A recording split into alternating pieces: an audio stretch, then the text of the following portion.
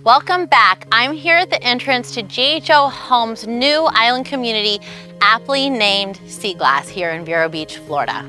We are minutes away from the stunning Atlantic Ocean and some of the most pristine coastal beaches in the whole country. If you stay with me to the end of this video, I'm gonna share with you some local secrets that make this exact spot so very special.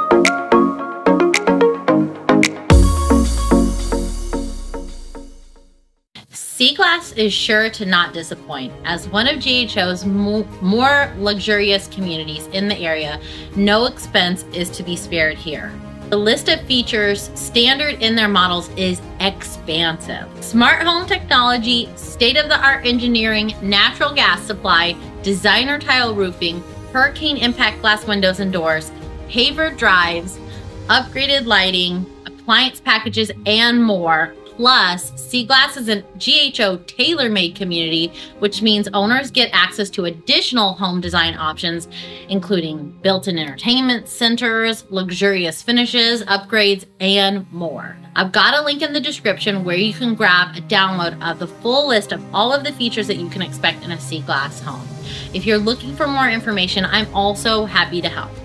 The community features 11 stunning GHO floor plans, and I have to tell you that GHO makes some of my favorite homes aesthetically. The exterior is so stylish, and the inside always has a lovely, well thought out flow. I really enjoy showing these homes. The Cerulean is an exception. It's a single family, two bedroom, and the Indigo Grande is a uh, Grande 4 is a four bedroom. Now, also the Seabreeze Grande is the last different floor plan and it's a 3-3, but it is an attached villa style home along the north and northeast perimeter of the community. I'm actually standing in front of it right now. And it offers a more affordable way to get into the community if you don't mind an attached style uh, layout. Square footage is going to range from 2200 in the smallest model and just under 2800 in the largest model. So they're nice, spacious homes. Your bedrooms are going to be spacious and you're going to have volume ceilings throughout, which is par for the course with GHO Villa Homes.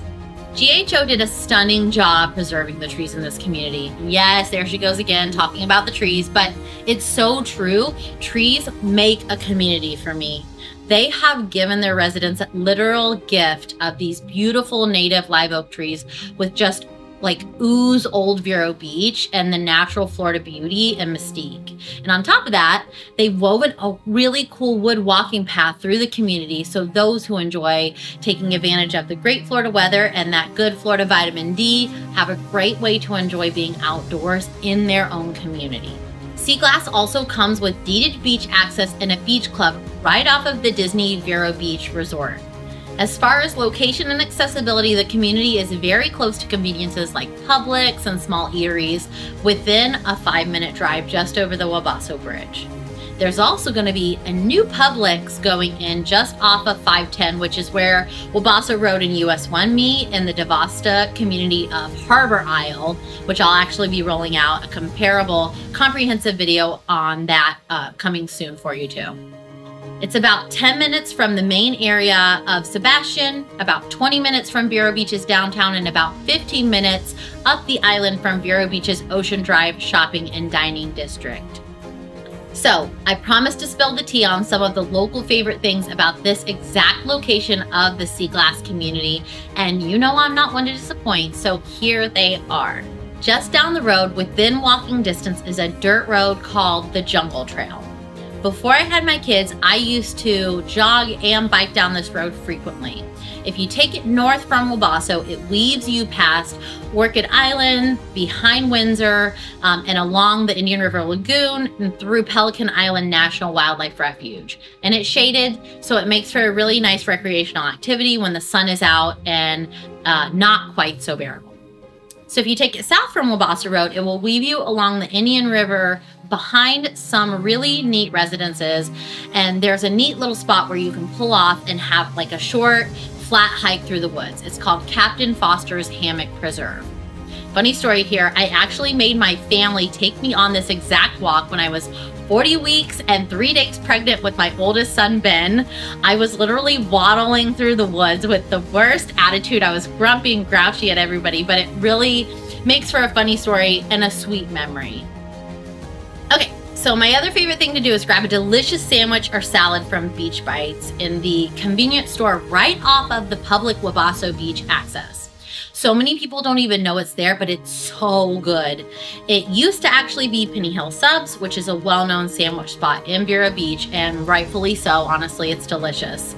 My favorite sandwich there is the Waist Watcher. I get it as a sandwich or a salad with a cho chocolate chip cookie, of course. And depending on my mood, I may or may not have an iced tea. So that's my meal of choice there. It will not disappoint.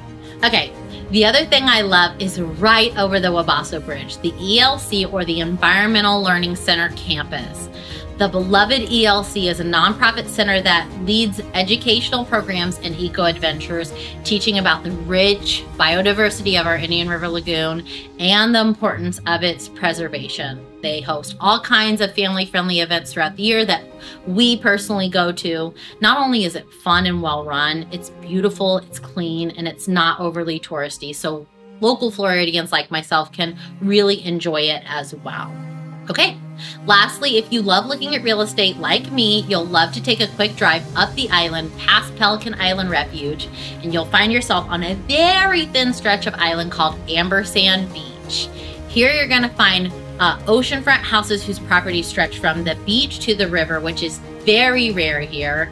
Some are very stately, some are little beach shacks, but if you look, you're a looky-loo like me, you're gonna love the cruise and love looky-looing. It's a lot of fun. So in all, I'm very excited for the construction of this great community here at Seaglass. The location is fantastic. It's going to be a stunner. If you want more information about Seaglass or the surrounding area, if you're looking at moving to Vero Beach and want to understand what are your best options, call me. I'm happy to be a resource for you. And if you're wanting to stop in and tour the community, please let me know. If you are ultimately interested in having a real estate agent involved to help safeguard you through the process, it is imperative that you pull me in before you visit versus after because I'll be perfectly transparent with you.